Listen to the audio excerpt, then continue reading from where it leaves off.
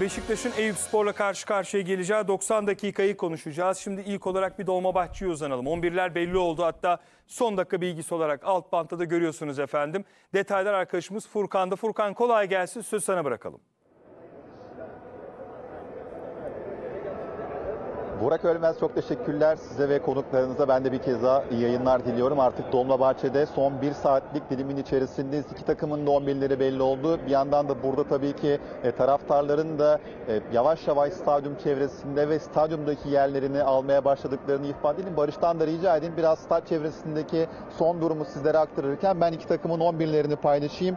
Beşiktaş'ın karesinde bu akşam Mert Günok görev alacak. Savunmanın sağında Svensson, solunda Masuaku, stoperde Paulista ile beraber Yudokai, önlerinde orta alanda Jason Fernandez ve El Musrati, hücumda ise sağ önde Milot Rashica, solda Joao Mario, merkezde Rafa Silva, en uçta Ciro Immobile 11 ile bugün Beşiktaş Eyüp Spor karşısında sahada e, olacak. Tabi dikkat çeken nokta Ernest Muçi konusu oldu. Bugün maç kadrosuna alınmayan yabancı isim Beşiktaş'ta Ernest Muçi oldu. Herhangi bir sakatlığı yok Arnavut futbolcunun. Teknik heyetin kararı doğrultusunda bu akşamki maçın kadrosunda olmadığını hatırlatalım.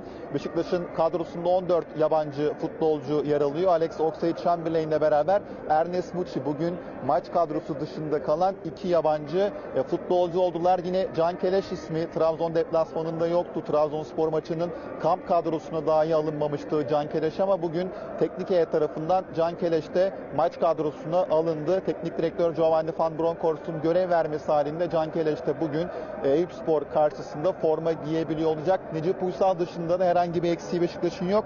E, bir yandan Eyüp Spor'un 11'ine bakıyorum. Onların da 11'i açıklandı. Hemen aktarayım. Konuk ekibin karesinde bu akşam Berke olacak. Savunma dörtlüsü Claro, Robin Yalçın, Caner Erkin ve Leo Dubois. Orta alanda Melik Kabasakal, Fredrik Mitchell, Emre Akbaba. Kanatlarda Samu Saiz, Ahmet Kutucu. En uçta ise Mehmet Yam 11 ile bu akşam Arda Turan'ın öğrencileri de Beşiktaş deplasmanında sahne alıyor olacak. Bu kritik randevuda ise hakem Zorbay Küçük görev alacak. Biz maç sonrasında yine buradan Dolmabahçe'den tüm yansıyanları Beşiktaş Eyüp Spor maçına dair tüm gelişmeleri bu ekranlarda aktarmaya devam edeceğimizi ifade edelim ve sözü Dolmabahçe'den tekrar size bırakalım Burak Ölmez.